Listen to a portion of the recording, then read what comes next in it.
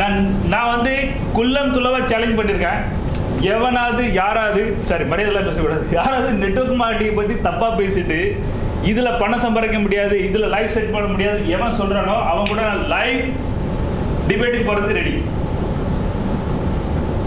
சொல்லி காட்டணும் நெட்ஒர்க் மார்க்கெட்டில் ஒருத்தன் சம்பாதிக்க முடியாது அவன் ஜெயிக்க முடியாது என்று சொல்லி காட்டணும் உலகத்தில் எந்த ஒரு பிஸ்னஸை காட்டட்டும். நெட்ஒர்க் நெட்வொர்க் மார்க்கெட்டிங் மாதிரி ஒரு ஒரு பெஸ்ட் பிஸ்னஸ் எவனாவது காட்டட்டும்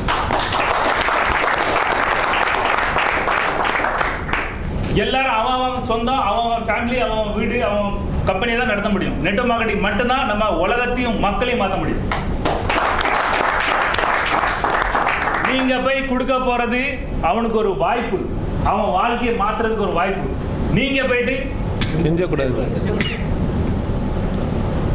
எனக்கு நிறைய பேர் ஆப்பர்ச்சுனிட்டி கொடுப்பாங்க. சார் எப்படியாவது கொஞ்சம் ஜாயின் பண்ணீங்க சார். நல்ல கம்பெனி சார். ப்ராடக்ட்லாம் நல்லது சார்.